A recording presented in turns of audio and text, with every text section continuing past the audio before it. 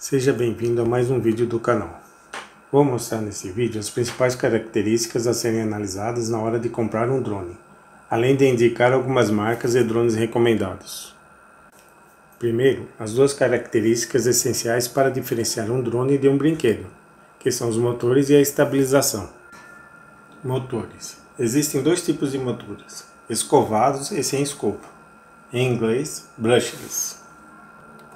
Motores de drones têm que ser brushless, ou seja, sem escova, pois oferecem força, eficiência e principalmente durabilidade.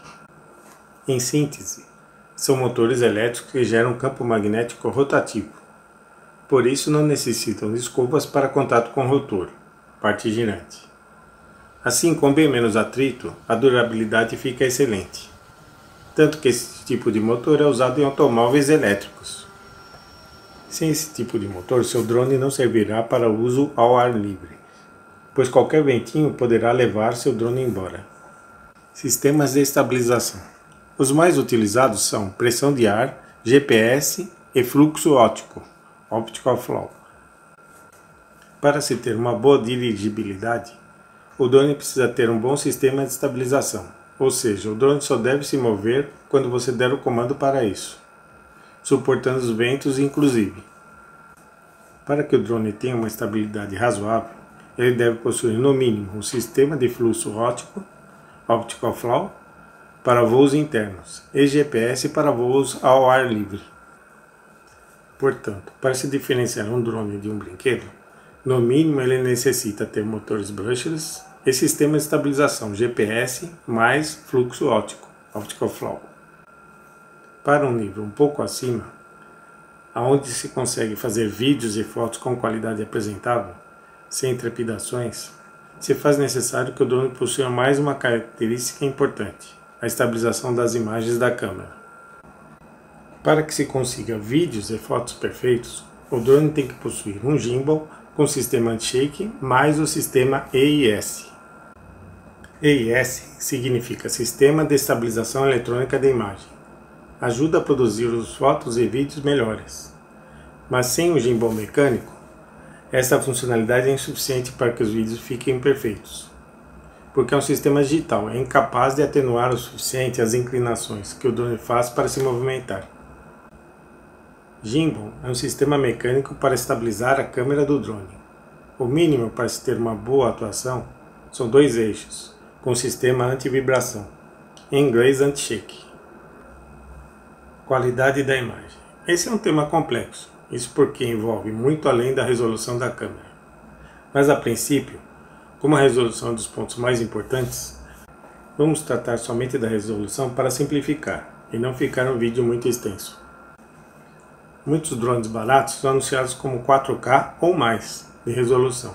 E se for ver, a câmera não é nem HD, às vezes nem VGA, que é pior que HD. Para maquiar a resolução da câmera, Muitos fabricantes fazem o processo de interpolação da imagem, que explicando resumidamente seria repetir várias vezes o mesmo pixel, ponto de imagem, gerando imagens com muito pixels e com qualidade ruim. Outro problema são os drones que não possuem entrada para cartão de memória. Nesse caso, as imagens são gravadas diretamente no celular. Isso inviabiliza uma boa qualidade da imagem final. A melhor forma para não cair na enganação da resolução forjada é escolhendo marcas renomadas e de confiança, as quais indicarei daqui a pouco. Alcance e tempo de voo. Esses pontos são bastante importantes e estão interligados, já que não adianta ter um alcance astronômico, se é impossível alcançar nem a metade com o tempo de voo disponível. Para se ter um tempo de voo razoável, esse deve ser superior a 20 minutos mesmo porque o tempo de voo que é fornecido pelo fabricante leva em consideração condições que você não vai encontrar no uso do drone, sem vento, por exemplo. Se o drone indica 30 minutos de tempo de voo, provavelmente você conseguirá voar no máximo uns 25 minutos. O mesmo ocorre com a distância. Se você pretende voar na cidade, existe muita interferência, que reduzirá consideravelmente o alcance do drone. Outro ponto importante, considere o alcance com imagens. Às vezes a indicação do alcance do controle remoto muito superior ao alcance com imagem. Outras características interessantes. Peso abaixo de 250 gramas.